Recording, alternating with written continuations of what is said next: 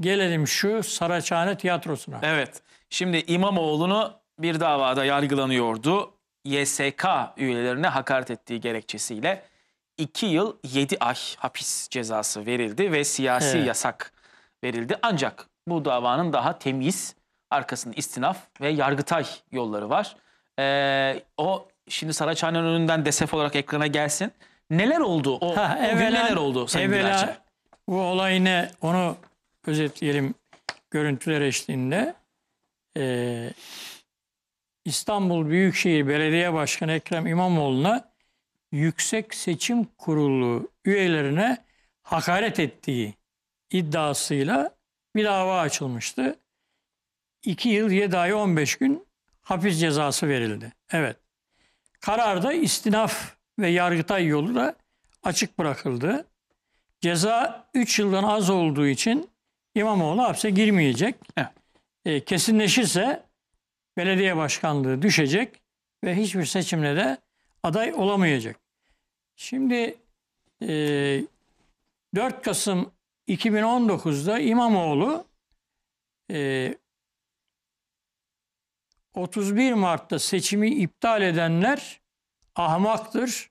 Önce oraya bir odaklansın diye Süleyman Soylu'nun sözleri hatırlatınca bir ifade veriyor. Şimdi Süleyman Soylu'nun sözleri üzerine böyle konuştuğu için e, şahitleri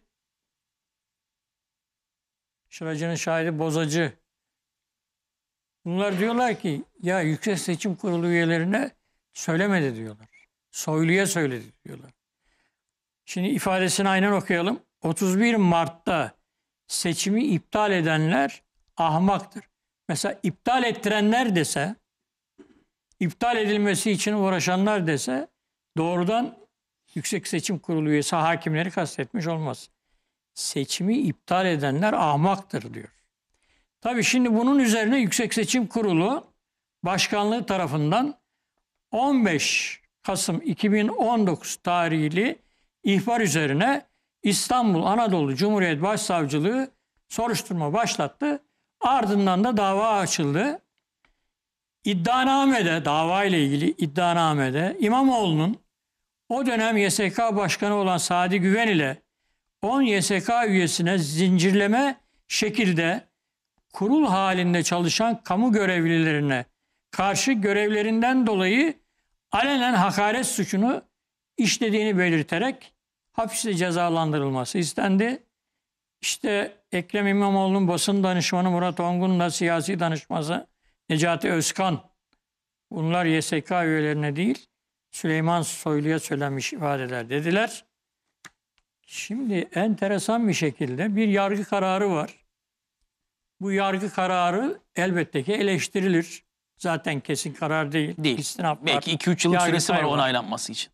Ya da reddedilecek. Fakat ilginç bir şekilde aldılar bu yargı kararını kendi siyasi tartışmalarının, hesaplarının zemine haline getirdiler. Bunu da dün Mardin'de en güzel Sayın Cumhurbaşkanı Evet, ifade etti. Bir izleyelim Şimdi Cumhurbaşkanı'nı. başlık olarak bir Cumhurbaşkanı hani dediler ya herkes konuştu da Erdoğan niye konuşmuyor? Konuşmuyor.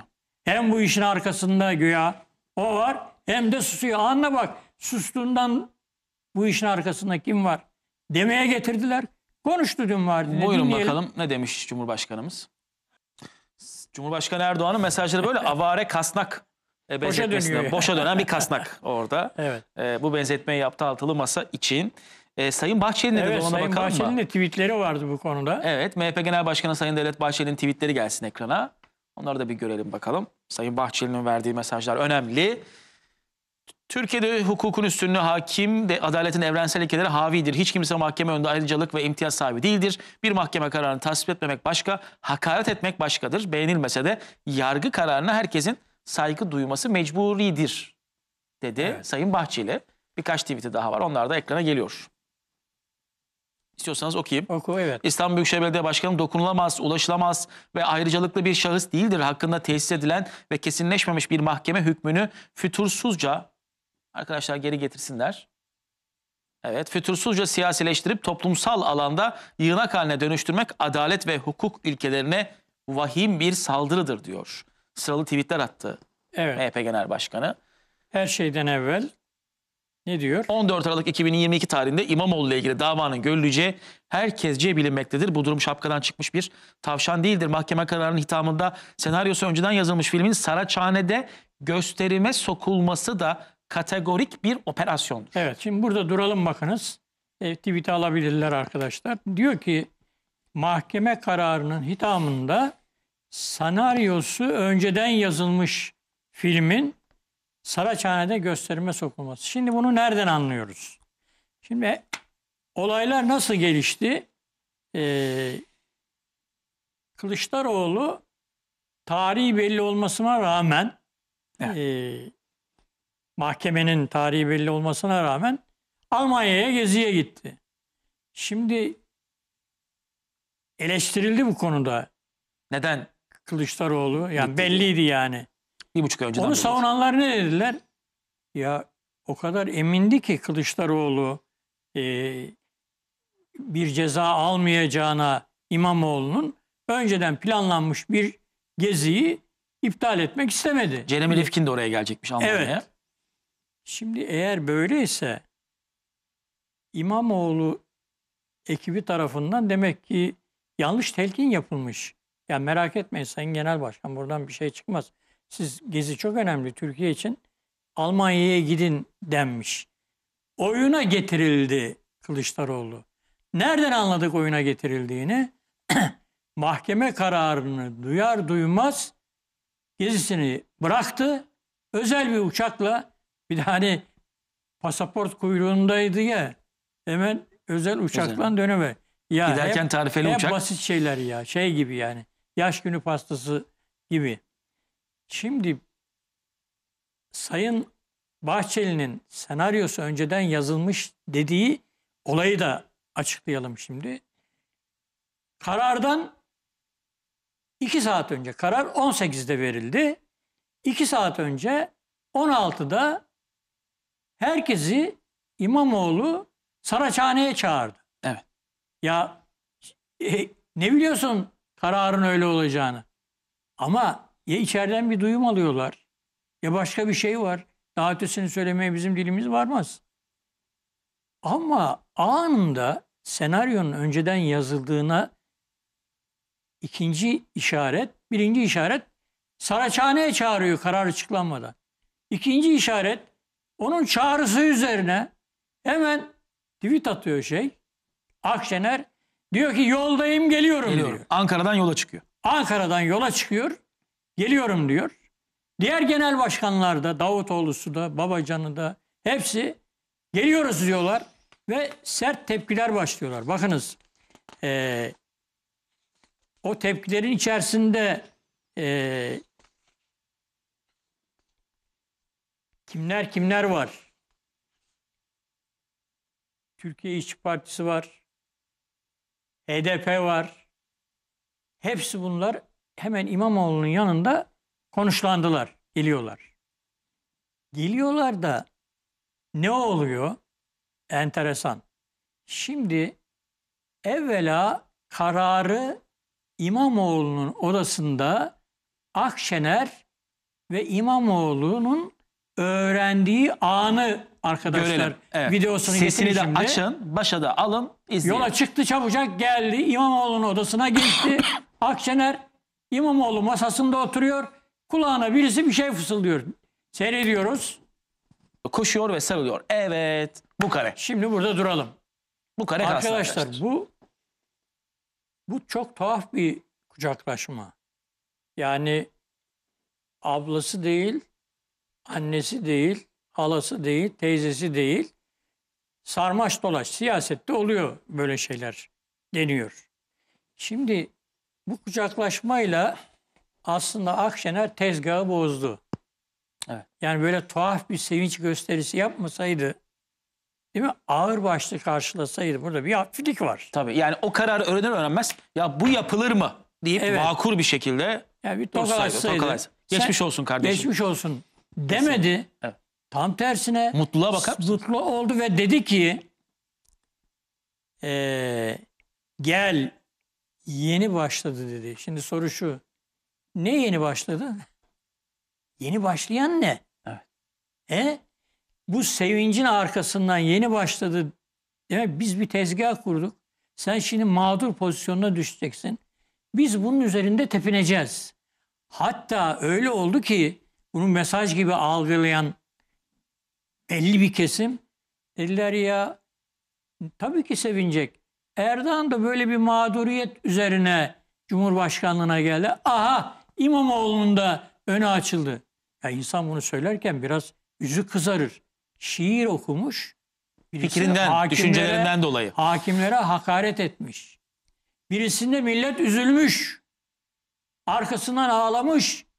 Burada şıkıdım şıkıdım oynuyorlar.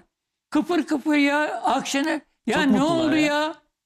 Şimdi şeyi de verelim. Ee, Tabii bu sırada Kılıçdaroğlu daha, daha ona gelmedik. Heh, gelmiyor. Daha şimdi İmamoğlu'nun makamında böyle Kılıçdaroğlu havada, Havada. geliyor.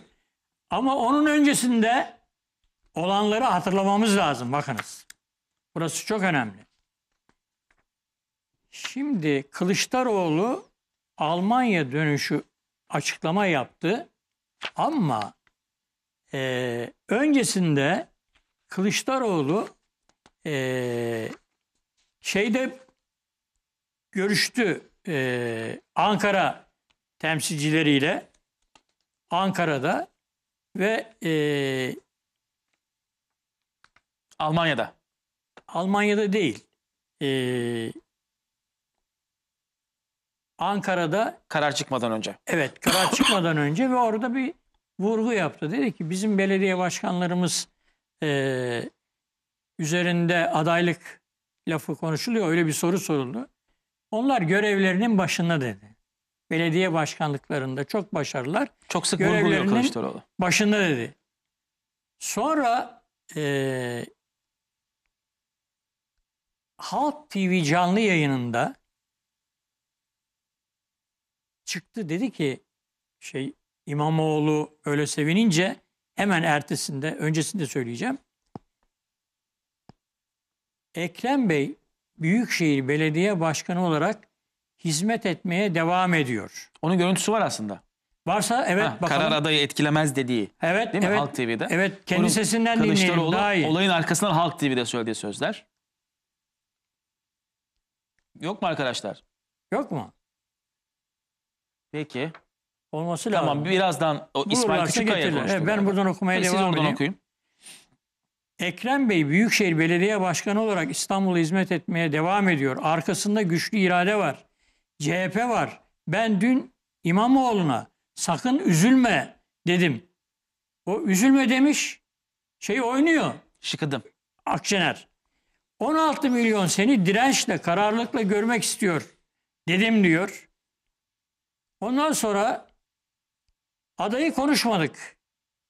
Hükümet programı üzerinde konuşuyoruz diyor. Ve ilk açıklamayı şimdi 18.35'te Almanya dönüş yolunda şu şeyi göreceğiz. Bilek güreşini. İmamoğlu ve Akşener 85 milyon diyor. Evet. Kılıçdaroğlu 16 milyon diyor. Yani Akşener fırsat bu fırsat İmamoğlu'nu Cumhurbaşkanlığı adaylığına itekleyeyim diyor. Kılıçdaroğlu ise ya benim adaylığım konuşuluyordu. Bak parti yönetimi benim arkamda niye böyle yapıyorsunuz diye direniyor. Evet. Şöyle direniyor. Almanya. Almanya dönüş yolunda diyor ki Kılıçdaroğlu şundan kimsenin endişe duymaması lazım. Biz sonuna kadar adaleti savunacağız. Adaletin yapanları, adaletsiz yapanların da yanına bırakmayacağız. Bu ülkede artık ikinci açıklaması darbeci de saraydır, yasakçı da saraydır. Öyle de mua- muamele göreceklerdir. Evet. Yani Akşener e, e, herkesten önce İBB'ye gelerek İmamoğlu'nu Cumhurbaşkanlığı Evet. adaylığına hazırlıyor gibi çok mutlu. Sevgi pıtırcığı konumları var şu an İmamoğlu ile aralarında. Ama Kılıçdaroğlu orada ısrarla genel başkan benim diyerek Cumhurbaşkanı adayında kendisi olacağını ısrarla vurgulamaya Şimdi devam ediyor. Saraçhane'de de bu tablo var Hasan Bey. Birisi 16 milyon diyor Akşener. İzleyelim bakalım. Verin arkadaşlar. Ve burada bu konuşmayı yaparken Akşener sadece İmamoğlu'na dedi ki gitme. Sen yanımda dur beraber konuşacağız dedi. Kılıçdaroğlu konuşurken ise tek başına Kılıçdaroğlu konuştu. İmamoğlu arkadaydı. E, ge- gecenin de sunuculuğunu İmamoğlu yaptı bu arada. Bunu da belirtelim. Genel başkanları tek tek o davet etti sahneye. Şimdi şey tarafı Kılıçdaroğlu tarafı yavaş yavaş bu hamleleri gördü. Yani Akşener olaya el koydu. El koydu. Tabii. Bu Saraçhane'deki tiyatroyla Kılıçdaroğlu'na açıktan söyleyemediğini gel bakayım yeni başlıyor diye 85 milyonunda telaffuz ederek el koydu. Şey şaşkınlığını ikinci gün attı CHP ve sahneye CHP Genel Başkan Yardımcısı, parti sözcüsü Faik Öztürk Öztürk çıktı. çıktı. Ne diyor O da bakalım? gelsin bakalım. Faik Faik Öztürk Öztürk. ne diyor?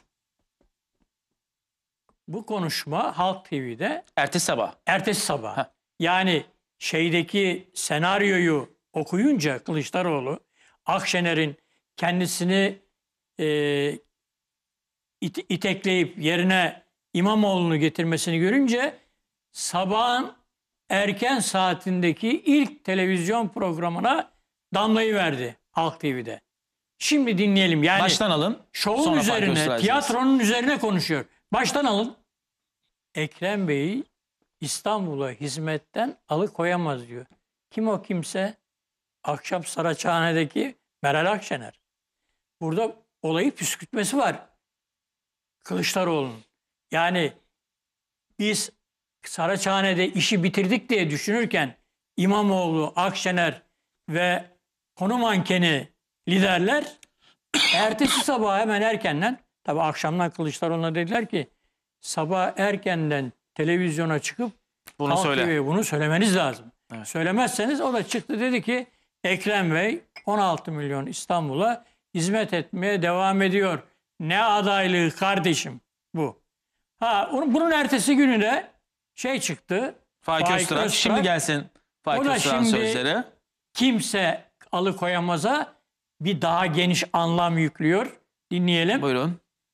Faik Öztürk da Bu ikinci tokat. evet savuruyor. Akşener'le İmamoğlu'na. Yani Kılıçdaroğlu'na darbe yapmak istedi birileri ama CHP Genel Merkezi bunu savurmaya çalışıyor. Evet. Bana göre sa- savurdular. Savurdular. Yani o hava şimdi- dağıldı.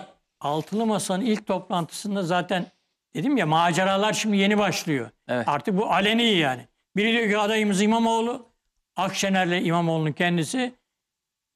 CHP Genel Merkezi ve Kılıçdaroğlu diyor bir dakika ya. Kendi kendinize gelin güvey oluyorsun. Ne oluyor ya? Bak lafa bak. Altılı Masa'nın Cumhurbaşkanı adayı nerelerde yazıldığı belli olmayan siyaset mühendisliği senaryolarıyla hiçbir zaman verilenmeyecek. Kim yazıyor bu nerelerde siyaset mühendisliğini? Masa dağılır mı? Ben bu masaya hep baştan beri iğreti görüyorum. Yani masadakiler hiç rahat değil. Çünkü daha önce de söyledik. Biri öyle diyor, biri böyle diyor. Ama bu olaydan sonra ben şunu gördüm.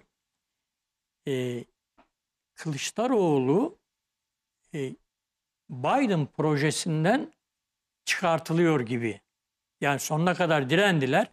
Fakat Kılıçdaroğlu'nun aday olmasını istemeyenlere şu telkini yaptılar ve herhalde ikna ettiler. Ya Kılıçdaroğlu'nu biz de baştan beri düşünüyoruz ama bütün anketlerde kazanamaz diye çıkıyor. Bizim derdimiz adayın kim olduğu değil. Üsttekiler konuşuyor. Alttakilere ha diyorlar, kabul ediyorlar.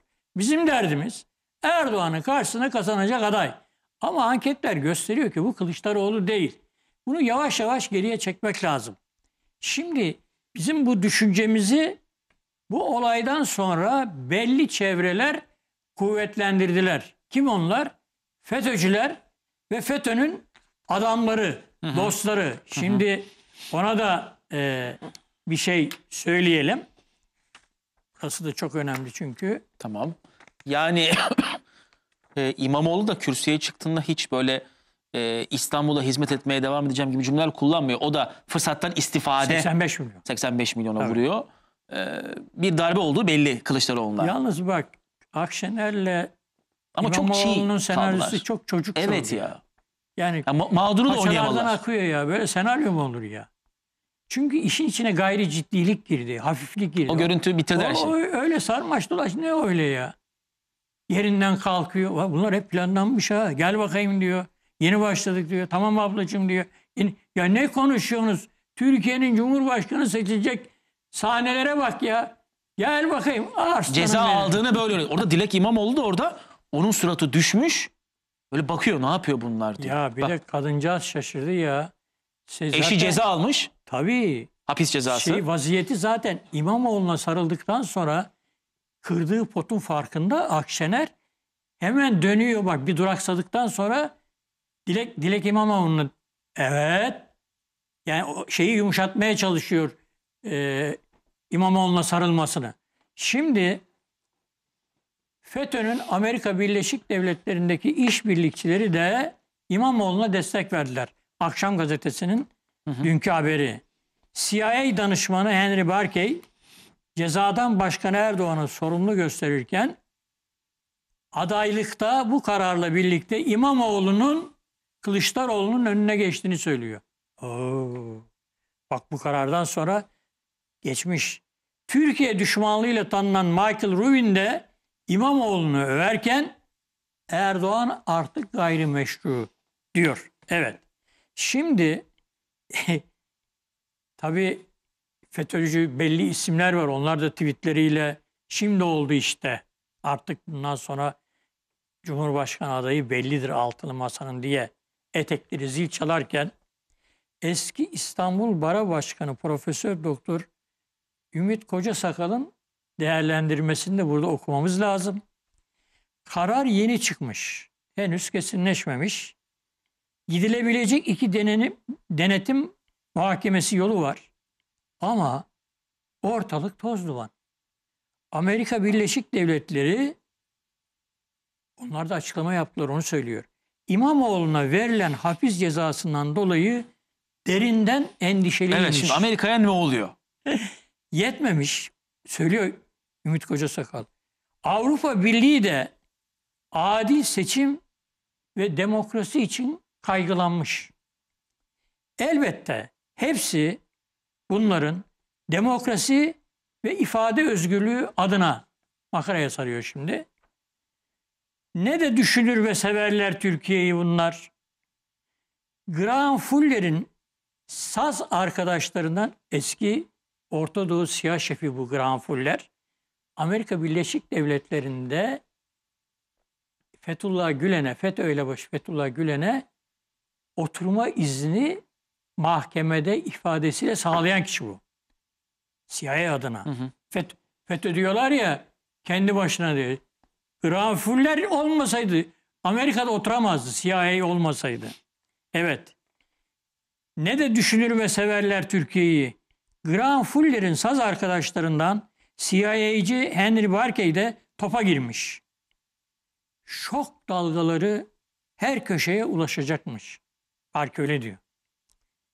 Ulaştı bile.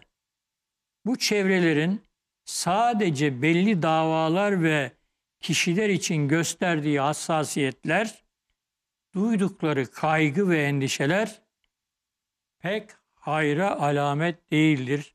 Ben kaygılıyım. Hmm.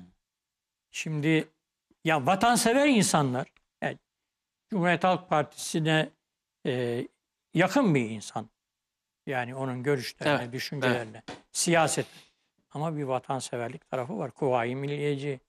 Yani kanına dokunmuş bak. Ersan Şen bile isyan etti. Ya, O bile yani.